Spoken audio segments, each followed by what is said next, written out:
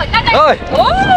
Ôi. đi lên bờ đi. Chạy sao thật phát rồi một cô blog tv xin chào các bạn. Các bạn có một ngày thật là vui vẻ và có những phút giây thật là sảng khoái khi xem video này nhé.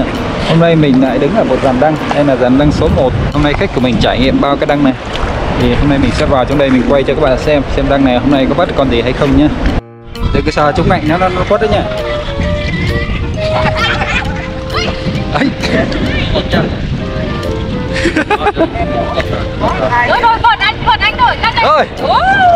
đi lên bờ đi. Chạy sao thật phát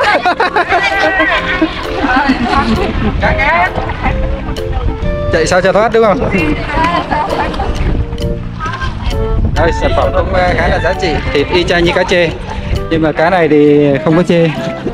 Tại vì ăn nó cũng khá là ngon. Ba ba ba rồi ba rồi vào chưa vào chưa rồi. Rồi vào rồi rồi vào con bên này. Cá đối làm kia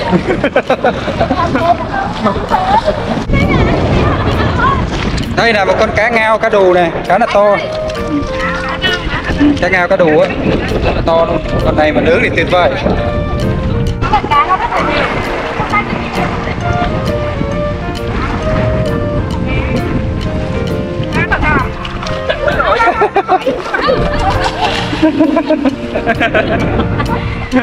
ông làm ghê quá vậy? Có con cá.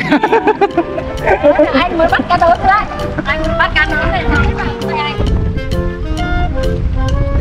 Ê, cẩn thận cái miệng hàng á?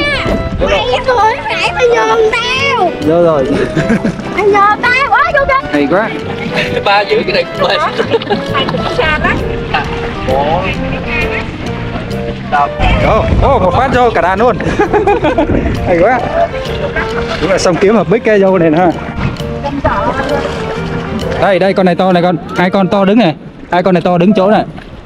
Đấy, còn con nữa, con cá đủ Đúng rồi. Vô đột Cẩn thận nó đứt tay nha. Đây. Đây vậy đứng bên ngoài. Nhảy đâu cho phát